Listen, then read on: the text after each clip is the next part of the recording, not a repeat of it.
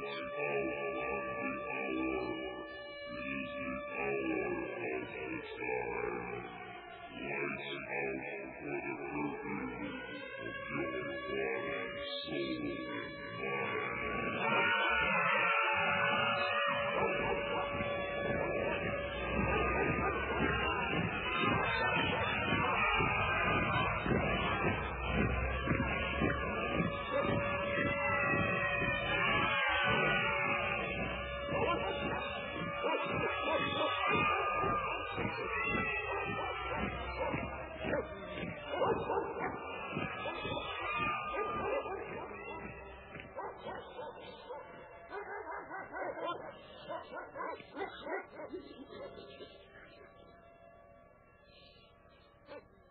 Good evening. You're listening once again to the Hour of the Time. I'm William Cooper.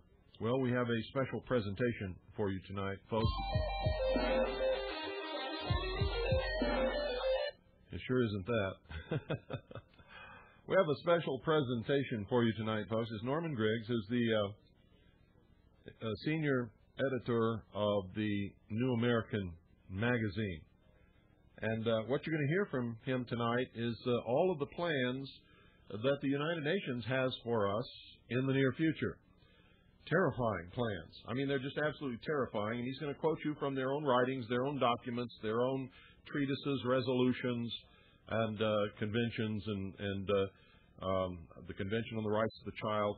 If you love uh, freedom, if you love the family, if you love children, if you love uh, being a parent, uh, if you love America, if you love the principles and ideals upon which this nation was based, uh, if you like our traditional way of life, then you better pay very close attention tonight, especially if you're one of those people who thinks that some, for some reason, the United Nations is really good and uh, we really need the United Nations.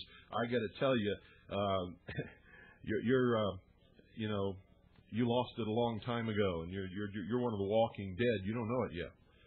Um, what these people are planning to do makes Hitler look like a nice guy, like a nice guy. He's also going to verify every single thing that I have been telling you was going to happen and that the UN stood for and that the UN had planned for us for the last 12 years. See, I've been telling you all of these things for the last 12 years. Now he's put it all together, um, and uh, he's uh, he's going to tell you in one speech.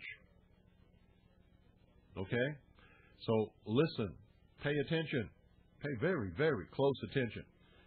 And uh, by golly, uh, don't forget it either. This is just absolutely amazing what you're going to hear. Terrifying, literally.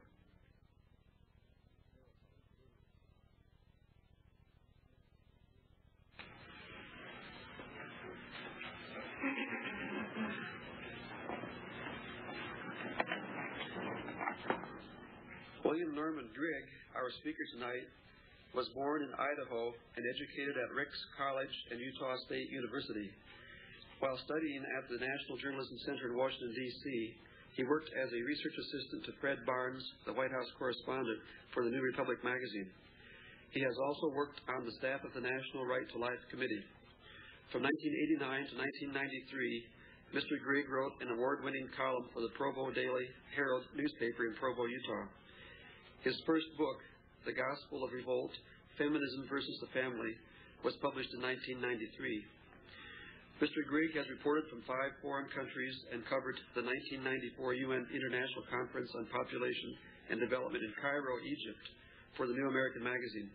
He is presently a senior editor at the New American Magazine.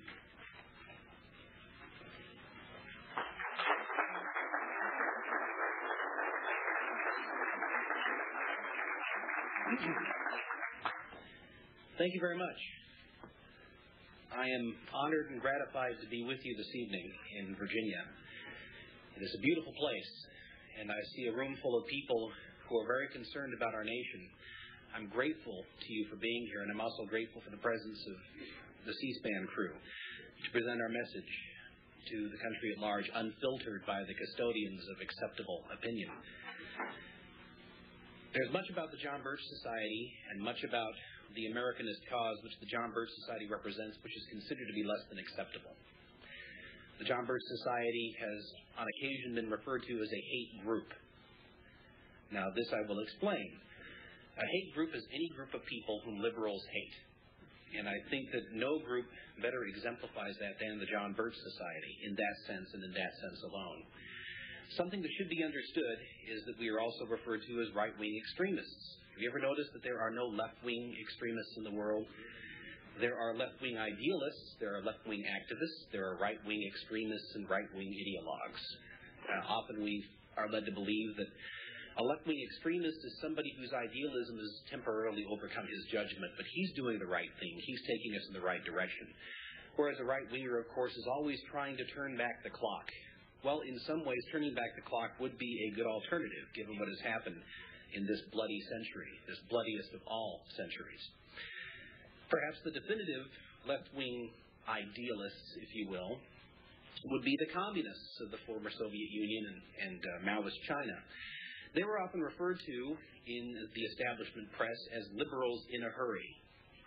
And of course, in their intemperate haste, they managed to rack up historically high body counts. And that is something which is still going on today. I want to talk with you briefly about the case of Army Specialist Michael New.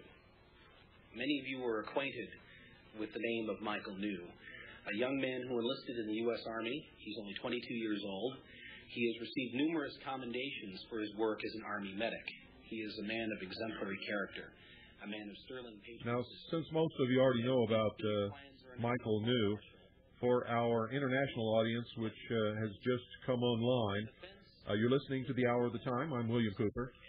Tonight, uh, we are giving you, are presenting, a special presentation of a speech by Norman Grigg, who is the senior editor for New American Magazine and uh, he's going to be talking about the United Nations, in specific, what they have planned for us in the near future.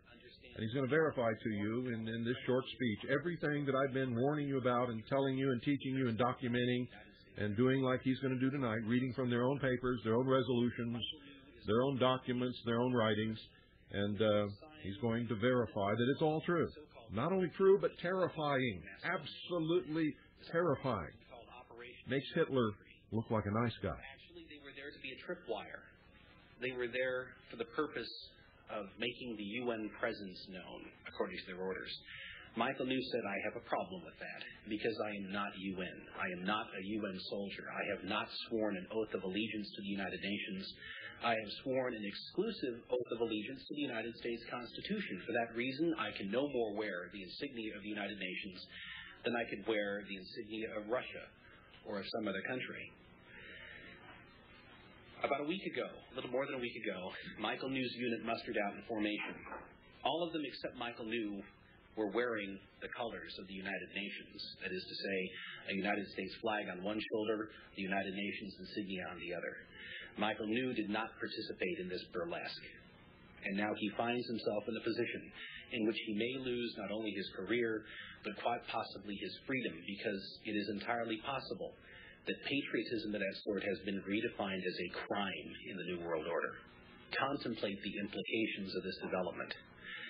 In a fashion similar to that which Michael New is experiencing, all of us are finding our allegiance being transferred without our consent. And we'll talk about that a little bit this evening and the implications that has for that which makes us most distinctive among all nations, our institutions of order, liberty, and limited government, and our concept that rights come from God and that they are inalienable. They are bestowed upon individuals by God, and that people combine to create a government for the exclusive purpose of securing our rights, and that government is to be the servant of the rights of people who obey God's law. This is the American concept. The United Nations concept is rather different. Some of you might be acquainted with a publication called Foreign Affairs. Time magazine has referred to this as the most influential journal in print. It is the flagship journal of a very influential group called the Council on Foreign Relations. In my book, particularly chapter one of my book, Freedom on the Altar, I talk a little bit about the background of the Council on Foreign Relations, its ancestry, its objectives. Suffice it to say that the custodians of acceptable opinion take their cues to a remarkable extent from the Council on Foreign Relations and its publications, particularly Foreign Affairs. Contrary to the fulminations of a large and rather ill-informed conservative talk show host, the Council on Foreign Relations does have influence in modern American politics. Furthermore, the Council on Foreign Relations does seek to create a global system, unified politically, economically, philosophically, and in a certain fashion ecclesiastically through the United Nations. One of the latest examples of this objective is found in the July August 1995 issue of Foreign Affairs magazine in an essay by Arthur Schlesinger Jr. entitled Back to the Womb Isolationism's Renewed Threat. what is an isolationist? I am indebted to Joseph Sobran for the following definition. An isolationist is somebody who wants neither to slaughter nor to subsidize foreigners. In other words, if you believe that America should conduct itself on the world stage as a principled uh, exponent of its own interests in a way which is honorable and lawful, in a way which, uh, in which we deal with equity and honor with other nations, then you're an isolationist. You don't believe in collective security or multilateralism or any of the other nostrums of the establishment. Arthur Schlesinger Jr. is alarmed that isolationism, as it's referred to, is rearing its ugly head once again in the American political landscape. Perhaps non-interventionism would be a more appropriate expression.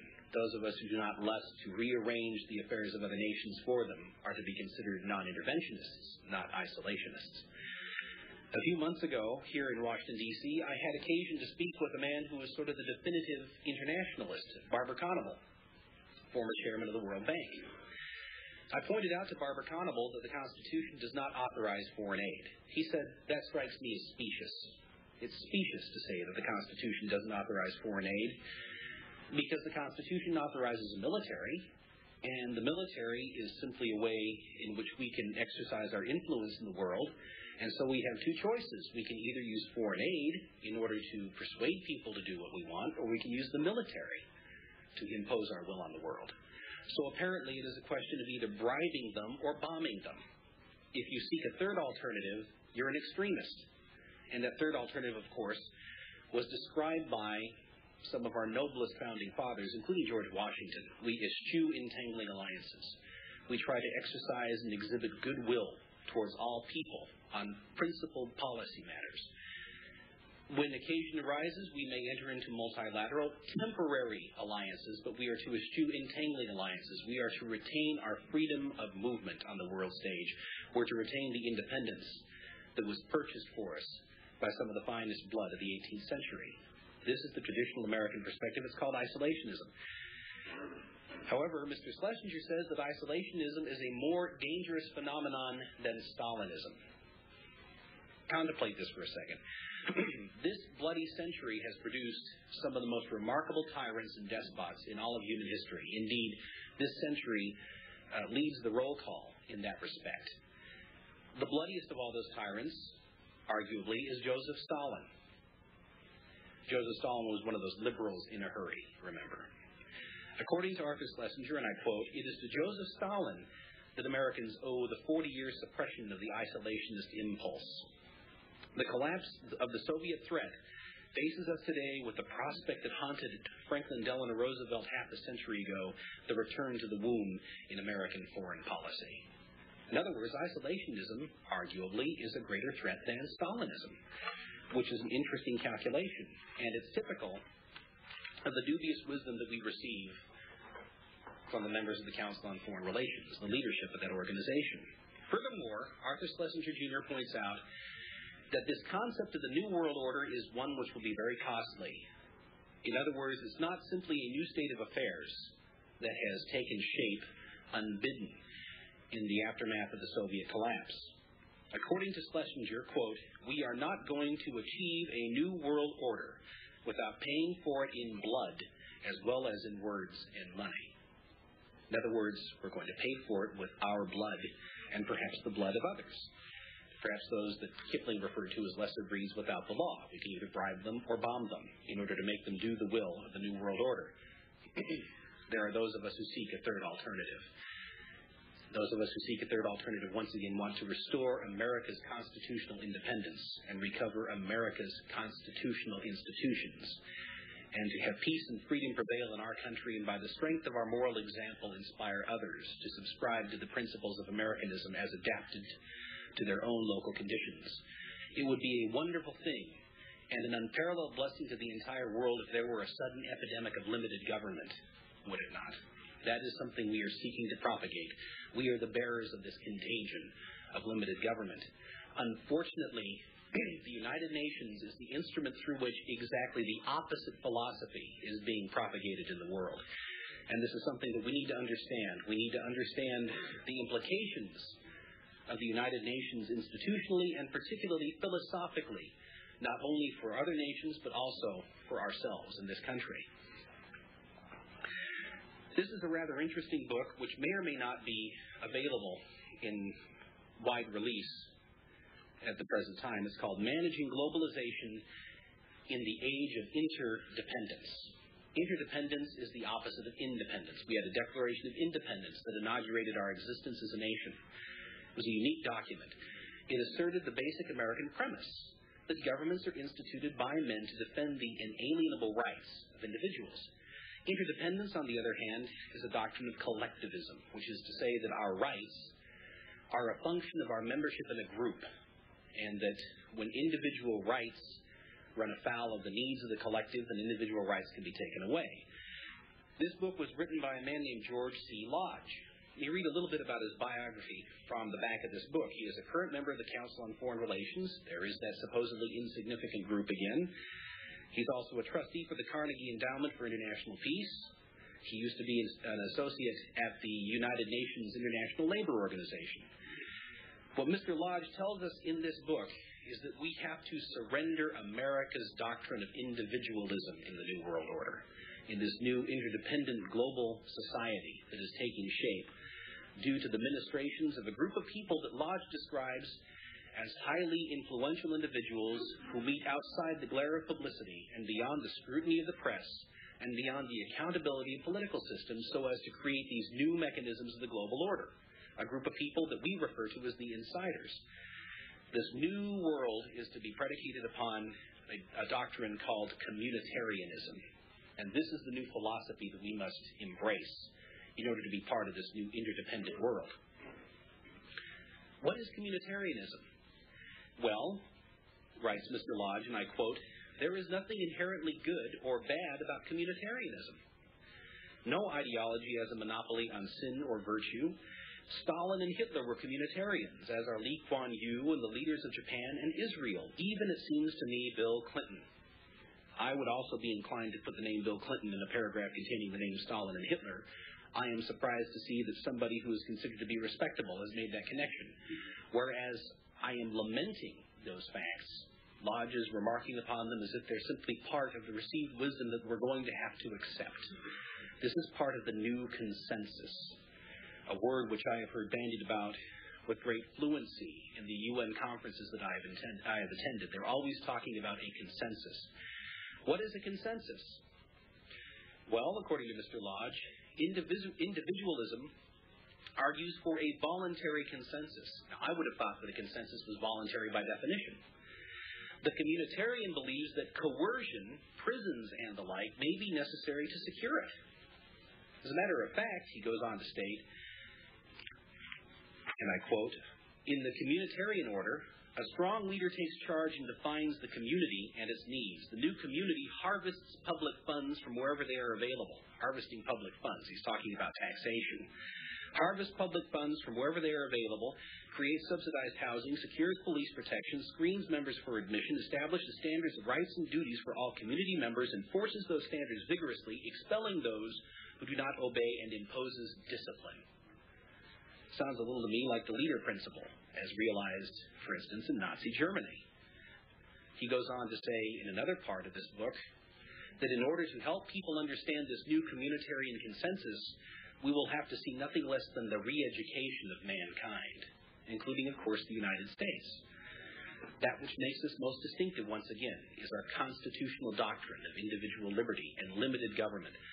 Our Constitution specifies the powers that government may exercise. It can do only those things which the Constitution authorizes it to do, whereas our rights are inalienable and they are not enumerated. Our rights belong to us. They are given to us by Almighty God. We, can, we confer limited powers upon the state. the collectivist perspective holds once again that your rights are a function of the state's generosity. The state gives you certain rights, tells you how you may use those rights, takes those rights away from you when the state decides that your rights are interfering with its designs. Does the United Nations subscribe to the latter proposition, the latter concept of rights? Indeed, it does. This is a document available from the United Nations called the International Bill of Human Rights.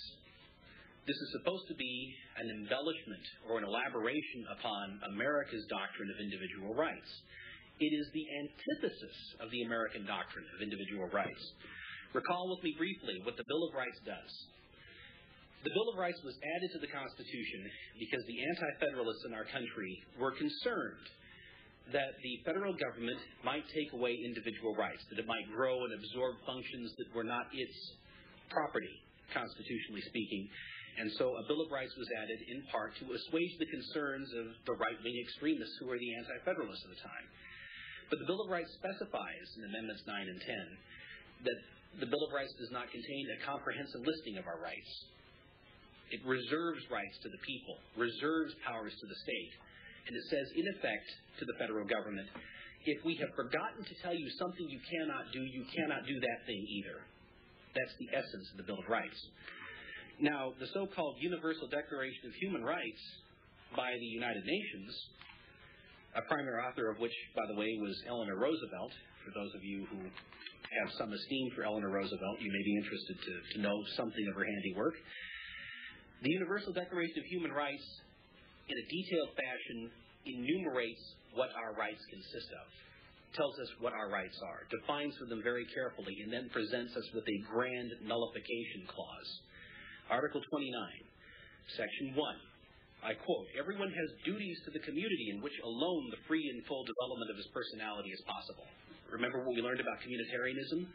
How you have to be brought into the consensus by coercion if necessary, and by re education if necessary?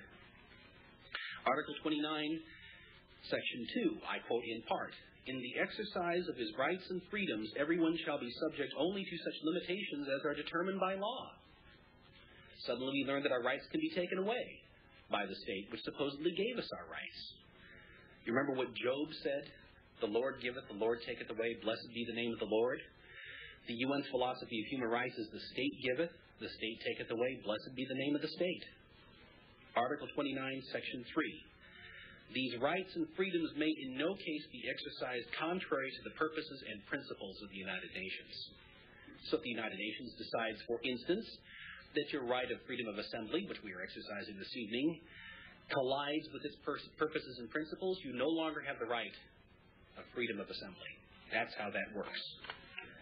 What happens when the state becomes unaccountable in the exercise of its powers, or decides that it can take away individual rights because it bestows individual rights upon people. What happens is bloodshed on an unprecedented scale. This has been the, sec- the century of collectivism. Actually, the collectivist era arguably began in July of 1789 with the onset of the French Revolution. But in this century, collectivism was wedded with technolo- technological sophistication in a way that made genocide and what is called democide possible. Government is a dangerous enterprise.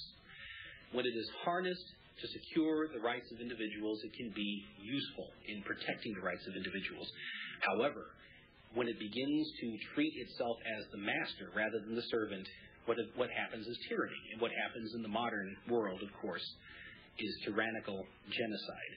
Some of you might be acquainted with this book, Death by Government, by R.J. Rummel, who is a professor of political science at the University of Hawaii. Dr. Rummel is recognized by experts across the political spectrum as the world's leading authority on political mass murder, what is called democide. Democide includes genocide and politicide and other acts of mass murder committed by governments. In this book, Death by Government, Dr. Rummel meticulously documents the fact that in this century, nearly 170 million people have been killed in time of so called peace by their own governments. Contemplate that for a second. This easily eclipses the total of war dead in two world wars, in many lesser wars, and in various ancillary conflicts in this century. We're told that peace under tyranny is more lethal than war. The United Nations says we need to achieve perpetual peace. We need to achieve perpetual peace by centralizing political authority in one global institution. What do we learn about peace under a centralized and unaccountable government? The United Nations, of course, is completely unaccountable. The United Nations, of course, seeks to centralize political power. And it seeks to exercise political power in a fashion that assumes that the state gives us our revocable rights. That is a recipe for politicide or democide on a global scale, and blood must be shed to create the New World Order, says Arthur Schlesinger. Some might contend that the United Nations was never intended to be a global government. Mr. Schlesinger's article, of course, dispels this illusion. He said that's exactly what it was meant to be. It was meant to be collective security using military force in order to enforce a global peace regime. This is an attribute, or description rather, of a certain type of government. This report, Our Global Neighborhood, the final report of the Commission on Global Governance, further puts, uh, further shoves aside the argument that the United Nations was not intended to be a world government. The Commission on Global Governance that is a neologism, really, that makes little sense. Governance is what government does. So they're talking about a global institution that would exercise the powers of governance. This report calls for the empowerment of the United Nations with direct taxing authority, beginning with taxes on international financial transactions, uh, fees on the use of the electromagnetic telecommunications spectrum, and various fees on other activities including parking fees on geosynchronous communication satellites and the like, establishing the precedent that the United Nations would have the power to tax directly. We're told that the United Nations is a discussion group, if you will, or that it is a catalyst. It is some kind of benign global coffee klatsch. Well, none of those institutions can exercise the power of taxation. Only a government can exercise the power of taxation. Furthermore, our global neighborhood once again reiterates the long-standing objective of comprehensive disarmament, not only of nations but of individuals, in order to, pr- to create a uh, culture of peace on a global scale, as it's referred to. Comprehensive disarmament in order to create perpetual peace, what happens in peacetime under a tyrannical regime. One person who will not dissimulate with respect to the United Nations as a global government is an individual by the name of Richard Hudson, who is the executive director of the nonprofit Center for War and Peace Studies in New York City. I had the opportunity to listen to a presentation by Richard Hudson at the recently concluded National Assembly on the United States and the United Nations, which was held in Washington, D.C. in August. he has written a letter to the Commission on Global Governance, and he has said that they should dispense with the pretense that the United Nations was not intended to be a global government. Let me read to you a little bit from that letter. Quote, the UN already is a world government. How can a world organization that can send 500,000 troops into Kuwait not be a world government? I understand why you want to avoid the term world government. It scares people. But still, in my dictionary, the Webster's Unabridged Third New International Dictionary in 1965, the word governance is defined as the act or process of governing or government. The United Nations already is a world government we are seeing today and this week a series of hearings being held on Capitol Hill to examine the Clinton administration's proposal that 20,000 American troops be sent to Bosnia to serve on a NATO mission to serve as peacekeepers or peace enforcers. There's another interesting locution peace enforcement under United Nations authority. Once again, this is something that a government does. A government wields military force. A government collects taxes. A government creates legislation. At the Cairo conference, which I attended last August, I attended many briefings uh, presided over by Secretary Timothy Wirth, who was the, sec- the uh, Deputy Secretary of State or Assistant Secretary of State for uh, Global Affairs in the Clinton administration, and also a member of this insignificant group called the Council on Foreign Relations. He referred to the process of creating a global platform of action to regulate population. He referred to this as legislation at the global level. Legislation is something government does. These are all attributes of government. And we've talked a little bit about the kind of government that the United Nations would be if we were allowed to proceed unchecked in the accumulation of these powers and the advancement of its agenda. Blood must be shed for the New World Order, Arthur Schlesinger wrote. blood is being shed. We know that blood is being shed in Bosnia, where the United Nations, through its NATO affiliate, has been bombing for peace, which is something that we have seen in many headlines. Without a, a whisper of irony, people will talk about bombing for peace in Bosnia. In China, blood is being shed for the New World Order. China has the world's most notorious population control program. It was spoken about briefly at the recently concluded Beijing summit on women. China's population control program includes a regime in which parents are allowed to have one child, allowed by their government to have one child because the government grants.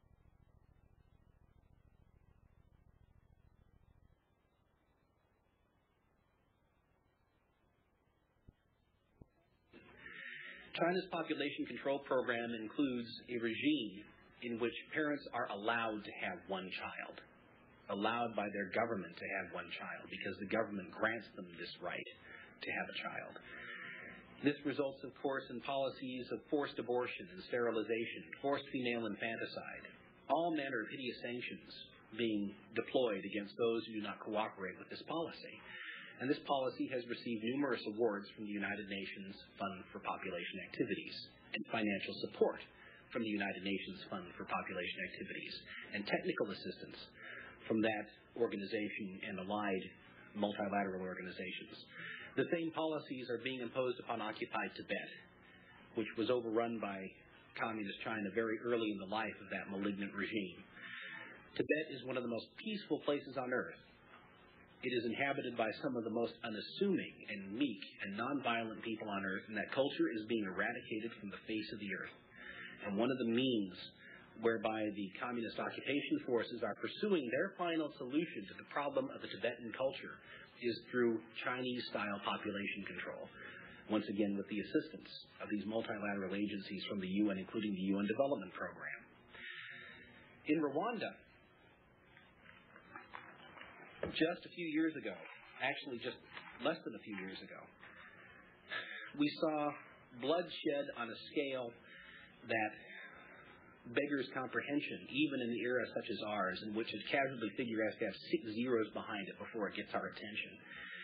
This is not something in which we can implicate the United Nations, but it is interesting to note that when I was in Cairo, there was a press conference that I was able to attend featuring a man named Patrick Mazimhaka, who was the Rwandan Minister for Youth and Cooperation. And he pointed out that in spite of the fact that they had lost 1.5 million people in a matter of months, that's one fifth of the total population of that country, that Rwanda was going to have to embark on a program of what he called, I'm quoting, post genocide population management. 1.5 million souls had been consumed by this fratricidal bloodletting. And yet, according to Mazimhaka, quote, the government will have to try to keep the family on track because we cannot afford a big population. This is in pursuit of something the United Nations calls sustainable development. Remember that phrase well. Sustainable development. Simply put, sustainable development is an environmental philosophy which holds that the human population is a resource to be managed by a global elite. Now, of course, those of us in the biblical tradition believe that the human population, human population consists of individuals who've received their rights from God. But from the United Nations perspective, the human population is just one factor that must be kept in equilibrium in this democratic biosphere. Man has no ascendancy in nature. Humankind is just another species with rights that are no more significant than those of plants or other animals. Sustainable development. In order to achieve sustainable development, according to the United Nations, China has been doing a good job in maintaining the equilibrium of its population. And now, in order to preserve sustainable development, Rwanda, after its genocidal bloodletting of just a, a few months ago, will have to keep the family under control by the state in order to keep its population down. Cambodia is a country whose name is synonymous with genocide. The Khmer Rouge under Pol Pot did in a few short months to Cambodia what the Black Death took decades to do in medieval Europe in terms of the per capita bloodletting, Cambodia under the Khmer Rouge experienced the worst genocide in history. Yet what we learned last week is that the United Nations, which is exercising political control over Cambodia, is going to embark upon a door-to-door census in Cambodia for the purpose of population control. They have to know how many people manage to survive this plague of power in Cambodia and how best to keep their population down and sustainable. In the former Soviet Georgia, interestingly enough, one of the champions of the New World Order, a man by the name of Edward Shevardnadze, who has received support from the United States in the form of protection by United States Special Forces personnel. The regime under Edward Shevardnadze, according to Christopher Story, a British Sovietologist, citing a report in the Swiss press, that regime has managed somehow to misplace hundreds of thousands of people just in the last four years. Blood is being shed for the New World Order in Soviet Georgia. It gets even worse, however. Jacques Cousteau, the venerated oceanographer, looked upon by many as the avuncular embodiment of the quest for human knowledge and the pursuit of natural exploration, gave an interview in 1991 to the French language edition of the UNESCO Courier. UNESCO is the United Nations educational, social, and cultural organization. Jacques Cousteau is one of the major apostles of sustainable development. And at the 1992 Earth Summit in Rio de Janeiro. He was received by UN officials and by the people who attended that meeting as something just this side of a divinity. Jacques Cousteau, in this interview in November of 1991, said the following thing. He said that in order to stabilize the human population, that is, on a global scale, we must eliminate 350,000 people per day. That's the way the mathematics is played out. 350,000 people per day to achieve sustainable development but that is not the high-end estimate as to the expendability of the human population. A new record was just set in that regard a couple of weeks ago at Mikhail Gorbachev's State of the World Forum in San Francisco. Mikhail Gorbachev, who, if there were any justice in the world, would have received the same treatment that Mussolini did outside of Milan at the end of World War II, convened this forum for the purpose of inaugurating what he calls the creation of a United Nations Council of Elders, a group of enlightened souls like himself who would assemble from time to time so as to plot our future for us. Very thoughtful and generous of them, indeed. Mikhail Gorbachev was introduced at that meeting by Ted Turner. Ted Turner said that Mikhail Gorbachev's tenure as chief commissar of the Gulag state was the most important event in human history which puts the New Testament in sort of an interesting light, I guess.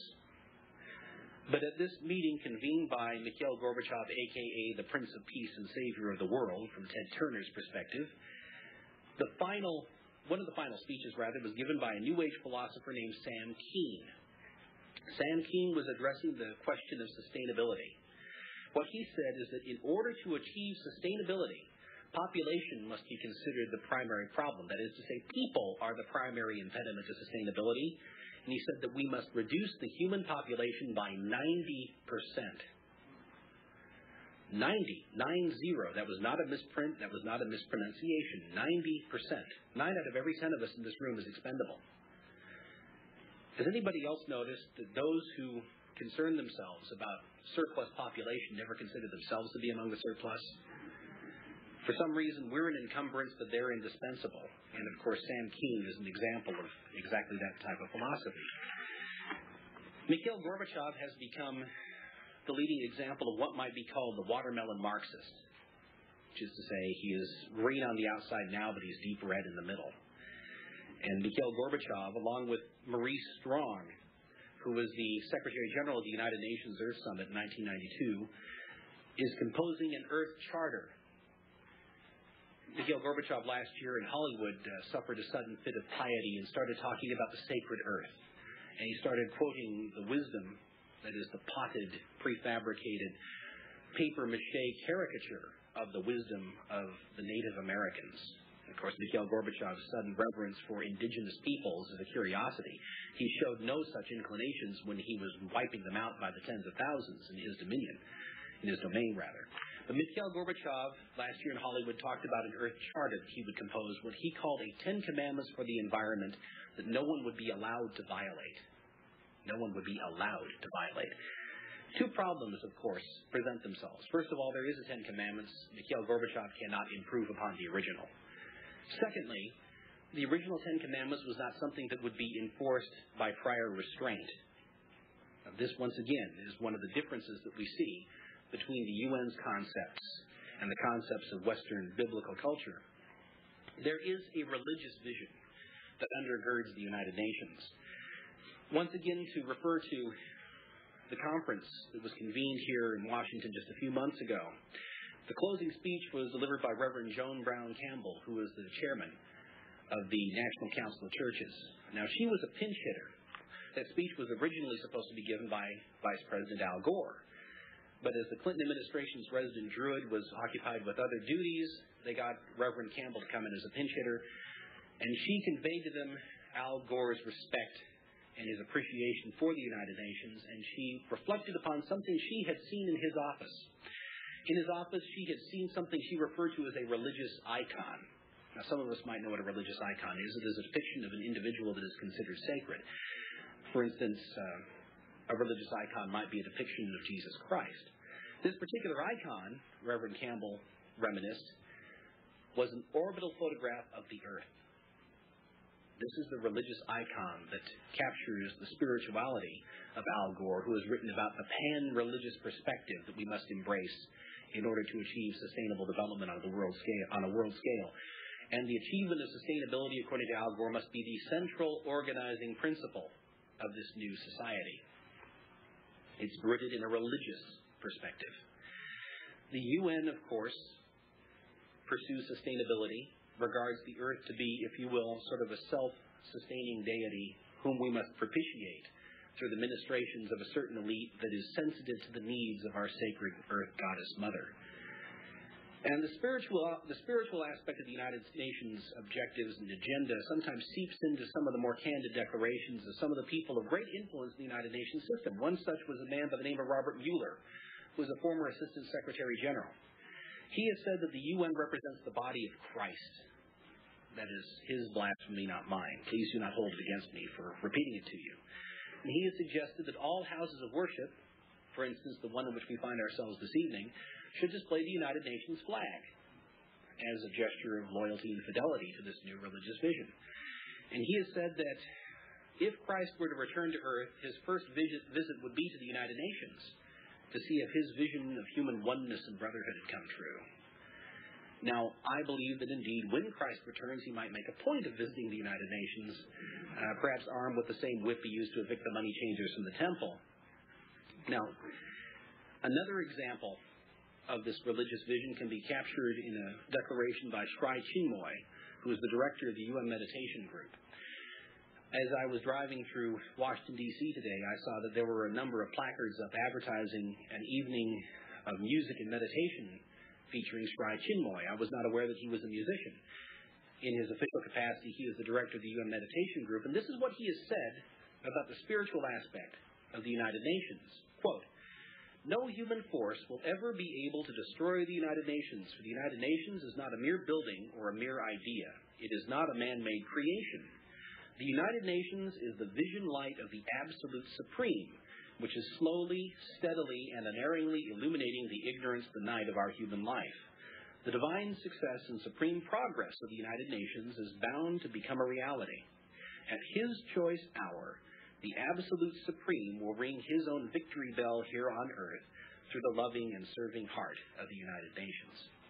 That does not sound to me like a mere discussion group. And Sri Chinmoy and people of his religious inclinations, of course, are free to pursue them. They're free to pursue their religious vision. They're free to indulge in whatever variety of mysticism or to worship how, will, how, where, or what they may. That is their sovereign right given to them by God. But inasmuch as they seek to use the power of a, of a developing global state to pursue that vision and to conscript our participation in that vision, we are dealing with a real problem. one which, of course, will impose upon the, the religious liberty of those of us who subscribe to traditional biblical faith. I've often considered the United Nations to be the Society for the Repeal of the Book of Genesis. And the reason why I say that is because, in every particular, their social agenda defies the order described in the book of Genesis. Genesis describes how man was created by God, a special creation. We were created in his image.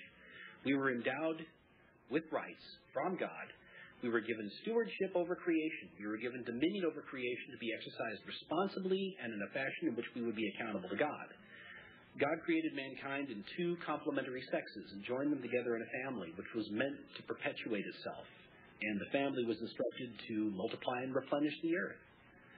Now, the United Nations, on the other hand, proceeds from the assumption that the earth itself is divine, that man is, at very best, a product of the machinations of an impersonal and indifferent process of evolution, that we have not received rights from God, that our rights are social artifacts to be granted to us by the state, that mankind was not given dominion over nature, but rather is simply an unassuming part of nature, that we were not created in two definitive sexes, but rather the undifferentiated mass of humanity can occupy any number of socially constructed gender roles, that the family itself is a social artifact which can be manipulated and changed at will. And of course, the worst thing we can do from the United Nations perspective is to multiply and replenish the earth. So, in other words, I think that there's a case to be made for the proposition, once again, that the United Nations should be called, in the social realm, the Society for the Repeal of the Book of Genesis. Those of us who believe in the book of Genesis, that includes, of course, Christians as well as Jews and Muslims, have a problem with this because we want to preserve that order, the order in which our liberties can take root and flourish. However, there is a new religious order which is being created ostensibly for our benefit. It's part of this consensus that we will have to accept in this interdependent world. That consensus is enshrined in a document called the Declaration of a Global Ethic. Some of you might have heard of this. It was created by a globalist theologian by the name of Hans Kung, who began his work at a 1991 Paris symposium sponsored by the United Nations Educational, Social, and Cultural Organization. This is what Hans Kung has to say about those of us who are so-called fundamentalists. Quote, any form of church conservatism is to be rejected. To put it bluntly, no regressive or repressive religion, whether Christian, Islamic, Jewish, or of whatever provenance, has a long-term future. In other words, history has decreed the immediate abolition of so-called regressive or repressive religion or fundamentalist religion. What have we learned about liberals in a hurry? They're not at all shy about giving history a little push. Now, the Declaration of a Global Ethic was presented to the 1993 Parliament of World Religions in Chicago. That meeting attracted thousands of religious leaders from around the world, representing every denomination in this country and just about every religious tradition in the world.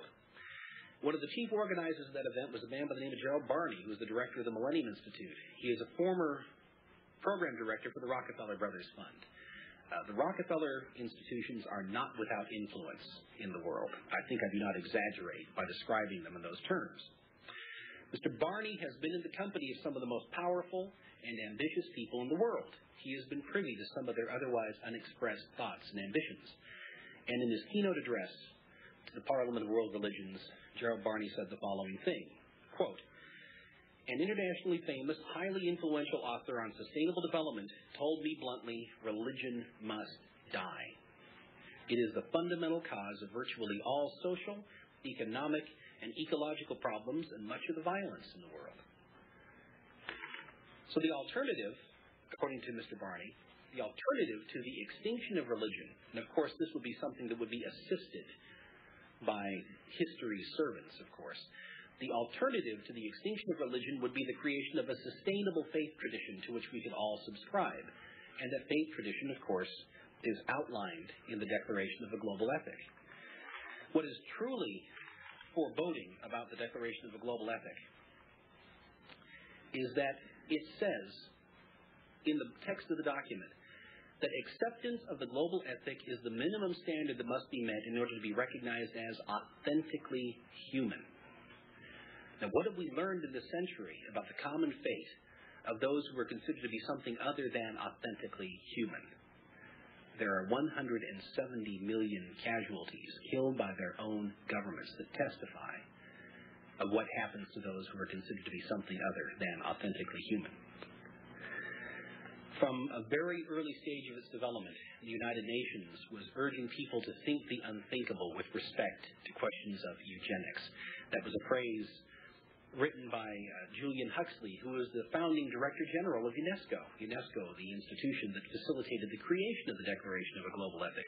Way back in 1948, he said, We're going to have to help people think the unthinkable with respect to eugenics, which is to say population control, selective population control control of reproduction by the state, and so forth. We've talked about unaccountable power. When the unthinkable is wed with unaccountable power, what results is tyranny and genocide. The 170 million casualties the century indicate and illustrate the dangers of what we see in that respect. Julian Huxley, incidentally, helped create the United Nations vision of education for a global society, what would have to take place in order for children to be educated to become world citizens? According to Julian Huxley, quote, it would mean an extension of education backwards from the nursery school to the nursery itself. As early as possible, the state, that is to say the global state, would have to start exercising certain types of authority within the home. Parental authority would have to be subverted or circumvented or abolished outright. I want to talk just briefly about one part of the message that I convey in my book, Freedom on the Altar, the UN's crusade against God and family. This title is considered by some to be quite inflammatory. I certainly hope so. It was meant to provoke a certain reaction. It was meant to provoke a certain response. We've talked a little bit about the crusade against God as God is understood by those of us who believe in the Bible those of us who believe in biblical faith. Let's talk a little bit about the family. The family was the first human institution. It was created by God to be the primary human institution. It was created to serve the function of instilling in children the attributes and attitudes necessary for responsible life as moral agents in freedom, because God created us to be free. The human institution, which we call government, is the agency of coercion. This is what government does. That's all we have time for tonight, folks. We'll finish it tomorrow night. And uh, I'm going to finish it tonight for the people in the Round Valley. So if you're in the Round Valley and you're listening, I'm going to go ahead uh, as soon as we sign off WBCQ and uh, finish the tape for those of you in the Round Valley so that you'll have some sense of continuity. For those of you listening international, we will uh, finish this tomorrow night. And of course, as I always do, I will back it up some so that the continuity is uh, is maintained as closely as we can. I hope you all agree that what you've heard, what I've heard anyway, is uh, is exactly what I've been warning you against for the last 12 years. I have documented it. I have uh, given you the uh, quotations right out of their own publications. I have given you all of the same information and what you're going to hear tomorrow night, and much, much, much, much more. And the, the reason I'm doing this tonight is so that you can hear it from somebody else's mouth, so that you know it's not just me. I didn't make it up. It didn't fall out of the sky, you know, in my bed, and, and I just picked it up and ran with it. That's not what happened, folks. It's the truth. Who is this great supreme that's going to come down and sit on the throne of the United Nations? Well, if you're a Christian, you should know the answer to that. The great supreme. Remember, he said the United States, the United Nations wasn't created by human hands. It was created by the great supreme. And when, when it's all ready and prepared, the great supreme will come down and sit on the throne of the world and reign from there. Now, this is not conjecture. This is what these people really believe. Now, whether you believe it will happen or not, it doesn't make any difference. Whether I believe it's going to happen or not doesn't make any difference. If they believe it, whatever they believe, and if they have the power, it's going to affect us, and we had better damn well understand what it is that they believe and why. I've been telling you for years. it's not the Jews. You heard what he said. You heard their plans for all of the existing fundamentalist religions. And I named them also Jewish, Christian, Islamic, scheduled for extinction, and any other religion that they consider to be regressive, whatever the hell that means. So you'd better wake up. I mean, you had better wake up because we don't have too much time. We don't have too much time. I've been telling you for years there's going to be a civil war in this country, and you'd better prepare, be prepared for it. If you're not prepared for it, and if you're not fighting on our side, you're going to be a victim. You're going to be a victim. Because if you're not on our side, you're on their side. And they don't want you on their side. And if they don't kill you, we will. There's going to be a war in this country. We're going to restore constitutional Republican government. Blood is going to run in the streets of America. Not because I say so, but because they have they have dictated that it's going to happen because they are going to eliminate billions of people and establish their world socialist utopian government on this earth with the quote great supreme end quote sitting on the throne of the world. These are all things that I've told you in the past. I've documented it. I've read you right out of the United Nations resolutions, documents, pamphlets, publications. I've explained to you the entire layout and the meaning of the symbology in the meditation room of the United Nations. I have read to you the dictates and the writings and the resolutions and the conventions all spelled out by the heads of the globalist organizations that literally control the United Nations. And you're not listening. Form or seek out and join a militia. Get ready to fight for your freedom. I mean it. You don't have much time. And we're going to have to do it. And if you're not ready, when it starts, it's too late to get ready. If you're a Christian, they're going to kill you. You haven't got a prayer in hell of living on this earth. Not you, not your family, not your children, not any any bit of you. If you're a Jew, same thing. Now you see all these so-called Jews in government who are socialists who are helping bringing about the destruction of this country. They're not Jews. They're not Jews. They don't believe in Judaism. If they go to synagogue, it's for show. Just like when George Bush goes to church, it's for show. George Bush is not a Christian. Bill Clinton is not a Christian. When he goes to church, it's for show. He's a communist. Communalism is the new word for communism. Communalist is just the new word for communist. I've been telling you all along, these people are communists. The New World Order will be a world utopian socialist totalitarian state, which will ultimately proceed to its ultimate goal as declared by Karl Marx and V.I. Lenin, communism. What is peace that he was talking about through all this talk? What is the definition of peace by Marxists, Leninists, and socialist communists? The definition of peace is the elimination of all opposition to socialism. Now that should put it in a better perspective for all of you. Good night, folks. God bless you. Hope you sleep tonight. I don't see how you can. um, and uh, don't forget to tune in tomorrow night. Good night, Annie, Pooh, and Allison. I love you with all my heart.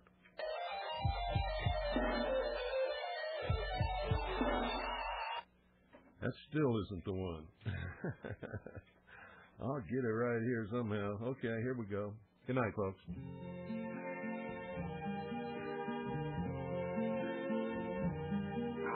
Trees of green, red roses See, I told you the fall of the Soviet Union was a scam. Everything that he described in his talk tonight is communism. Everything he described in his speech tonight that the United Nations wants to do is exactly what the Soviets did in the Soviet Union. You better wake up, you stupid, ignorant, apathetic sheeple, or you're going to get what you deserve.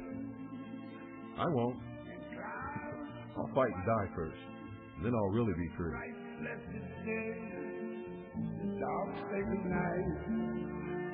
And I think to myself, what a wonderful world. If you're in the Round Valley, stay tuned. We're going to finish this tape for those of you listening in the Round Valley as soon as uh, we sign off WBCQ. So pretty